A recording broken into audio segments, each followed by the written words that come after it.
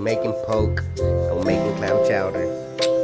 Stay tuned. Always gotta shout out your local. Keep it fresh. Where is freshness local? Cut the tuna.